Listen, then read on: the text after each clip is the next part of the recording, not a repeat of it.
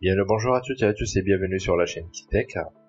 Au cours du week-end, Google a publié une nouvelle enquête de personnalisation qui tente de vous aider à obtenir la configuration de l'écran d'accueil personnalisé ultime, au lieu de passer des heures de recherche à travers des pages de Google Play pour des packs, des lanceurs ou des fonds d'écran. Mais avant toute chose, si vous êtes nouveau, n'hésitez pas de vous abonner à notre chaîne et d'activer la cloche pour avoir les dernières vidéos publiées, surtout si vous aimez le contenu de la chaîne. La seule raison pour laquelle beaucoup de gens préfèrent Android sur iOS est le niveau de personnalisation de l'interface utilisateur qu'elle offre. Il vous aide à sélectionner l'écran désiré d'accueil, lanceur, fond d'écran, icône, clavier, etc. pour votre smartphone. Les utilisateurs d'Android ont longtemps été en mesure de personnaliser l'écran d'accueil de leur téléphone en créant des widgets et le téléchargement de lanceurs ainsi que des packs d'icônes Beaucoup de différents lanceurs euh, Android disponibles sur Google Play rendent votre travail plus facile.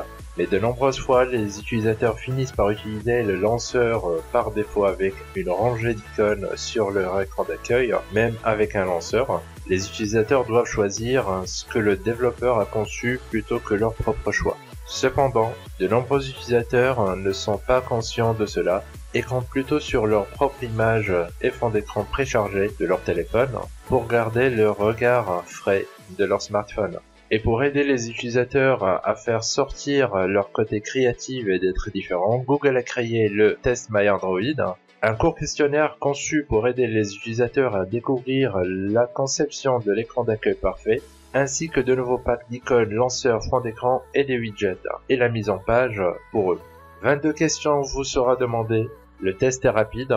Chacune des questions contient entre 2 et 4 réponses à sélectionner avec de beaux graphiques pour vous aider à prendre votre décision. Ces questions comprennent des bases telles que monochromatique ou multicolore et modèle ou aléatoire ou vibrant ou mise en sourdine et maximalisme ou minimalisme qui attend de vous une réponse rapide. Il va également demander ce qui est important pour vous, comme je veux des infos plus rapides, je veux quelque chose de différent, je veux un look cool, et il demandera également votre niveau d'expérience avec Android. Ils sont tous à choix multiples et ne prennent pas plus que quelques secondes chacune pour répondre. Il faut juste être sûr de faire vos réponses aussi précises que possible. Et vous devriez être agréablement impressionné. Tout cela pour générer avec précision des suggestions uniques en fonction de vos préférences.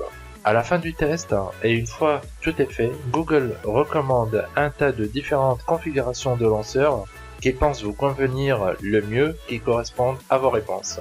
Vous serez également recommandé l'application de fond d'écran, d'icônes, lanceur application, un widget et même le clavier que vous devriez utiliser. Il fournira des liens vers le Play Store afin que vous puissiez facilement télécharger les applications proposées. Si vous n'êtes pas satisfait du résultat, vous pouvez reprendre à nouveau le test pour générer de nouvelles recommandations. D'autre part, si vous êtes satisfait de la façon dont votre écran d'accueil a un nouveau look, alors vous pouvez également partager les résultats avec les autres personnes. Google fournit un lien Partagez votre look à la page de résultats que vous pouvez partager avec d'autres personnes de façon qu'ils peuvent également télécharger rapidement pour eux. Vous pouvez également partager votre look smartphone Android nouvellement personnalisé sur Google+, Twitter et Facebook. C'est un moyen simple d'introduire les débutants d'Android à la vaste gamme d'outils de personnalisation disponibles sur Google Play.